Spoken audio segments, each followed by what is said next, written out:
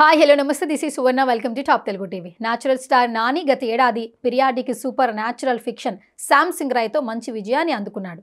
అదే ఉత్సాహంతో నాని ఈ ఏడాది చేసిన మూవీ అంటే సుందరానికి రొమాంటిక్ కామెడీ ఎంటర్టైనర్ నేపథ్యంలో రూపొందించిన ఈ మూవీ ఆశించిన విధంగా ఫలితాన్ని అందుకోలేకపోయింది. ఈసారి మాస్ మసాలా యాక్షన్ ఎంటర్టైనర్ని నమ్ముకున్నాడు.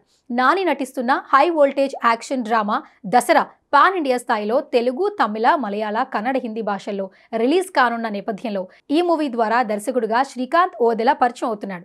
కీర్తి సురేష్ హీరోయిన్గా నటిస్తున్న ఈ మూవీ షూటింగ్ దాదాపు ఎండింగ్ దశకు చేరుకుంది. మిగతా బ్యాలెన్స్ షూటింగ్తో పాటు మరోపక్క పోస్ట్ ప్రొడక్షన్స్ కార్యక్రమాలు జరుపుకుంటుంది. ఎస్ఎల్వి సినిమా బ్యానర్ పై సుధాకర్ చెరుకూరి ఈ మూవీని అత్యంత భారీ స్థాయిలో నిర్మిస్తున్నారు.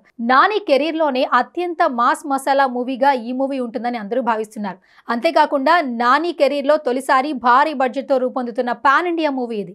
గతేడాది దసరా సందర్భంగా అనౌన్స్మెంట్ వీడియోను విడుదల చేసిన ఈ మూవీని వచ్చే ఏడాది మార్చిలో ప్రేక్షకుల ముందుకు తీసుకురావాలని చిత్ర బృందం ఇప్పటికే రిలీజ్ డేట్ని కూడా ప్రకటించేసింది నాని కెరీర్లోనే అత్యంత భారీ స్థాయిలో ఈ మూవీని తెరకెక్కిస్తున్నారు. ప్రస్తుతం ఈ మూవీ షూటింగ్ హైదరాబాద్లోని బాచుపల్లి ప్రాంతంలో జరుగుతున్నట్లుగా వార్తలు వస్తున్నాయి. అక్కడ ప్రత్యేకంగా వేసిన సెట్లో కీలక ఘట్టాలను దర్శకుడు శ్రీకాంత్ ఓదెల తెరకెక్కిస్తున్నారట.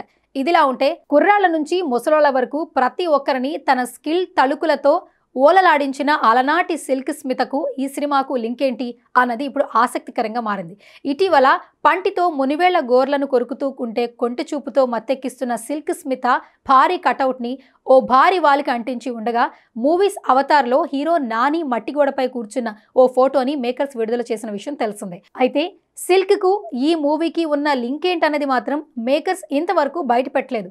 దీంతో సిల్క్ స్మితకు ఈ మూవీకి ఉన్న సంబంధం ఏమిటి అని ఇప్పుడు చర్చ జరుగుతోంది. సబ్స్క్రైబ్ చేయండి. Subscribe to please do subscribe to subscribe to please like share and subscribe to top Telugu TV top Telugu TV top Telugu TV top Telugu TV top Telugu